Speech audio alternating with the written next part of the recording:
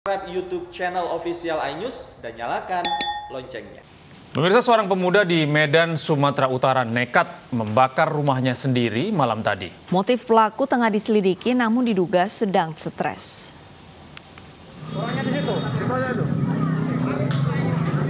Kebakaran menghanguskan sebuah rumah yang berada di pinggir jalan Titi Pahlawan, Kelurahan Labuan Deli, Kecamatan Medan Marelan, Kota Medan, Sumatera Utara malam tadi.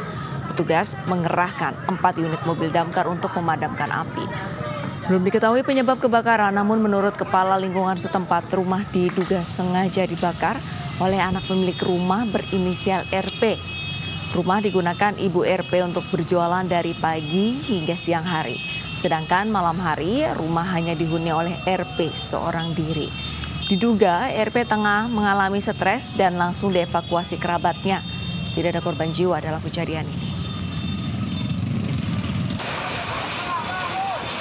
Nah, udah Tapi gitu, penyebabnya dari mana Pak?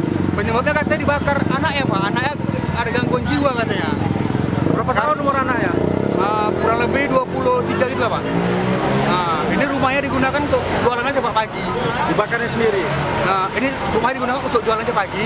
Ah. Dan itu sore ditinggalkan gitu. Oh. Nah, Jadi ini rumahnya kosong, ya kosong pak. tinggal anaknya aja.